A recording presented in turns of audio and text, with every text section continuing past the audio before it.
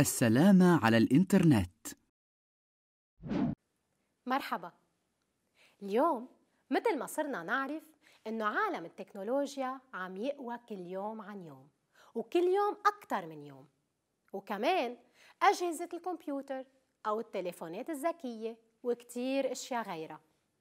ونحن منمضي أغلب أوقات فراغنا بالنهار عم نستخدم أجهزة الكمبيوتر. وبدل الألعاب يلي كانوا أهلنا يلعبوها بين بعضهم بالساحات أو بالملعب أو بالحديقة صرنا كلنا قاعدين على كرسي ومنفضل لعبتنا الإلكترونية.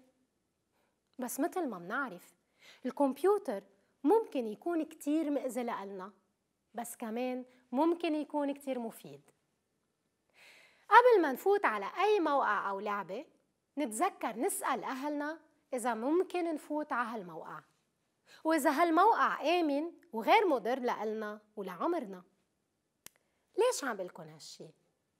لأنه إذا كان عمركن بين ستة وتسع سنين يعني أنتو بعمر كتير بتحبوا تتعلموا بسرعة.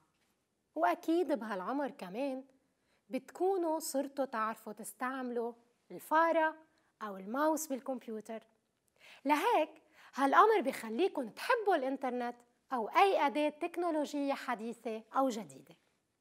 بس بهالعمر كمان ما بيكون عنا بعد القدرة على التمييز إذا هالموقع أو هاللعبة أو هالموضوع بشكل خطر علينا أو لا. لهيك نحن لازم نطلب من أهلنا إنه يحطوا قوانين لحتى نتبعها ويشرفوا علينا ويرشدونا قدام أي استعمال للكمبيوتر.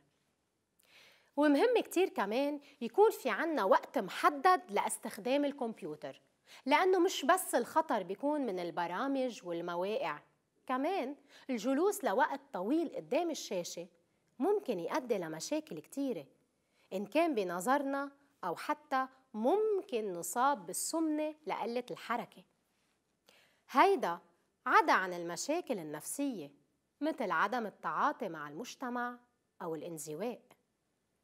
ما مننسى كمان مواقع التواصل الاجتماعي يلي كتير سهل الدخول لها ولكن هل كل مواقع التواصل مناسبة لأعمارنا؟ أكيد لا. خاصة إنه على الطرف الثاني من الكمبيوتر في شخص نحن ما منعرفه شخصيا. منعرفه بس من خلال الكتابة أو صورة. يمكن تكون صحيحة ويمكن لا. لهيك في كتير من مواقع التواصل انعملت خاصة للولاد. غنية بالصور والألوان والمواد المفيدة والمسلية.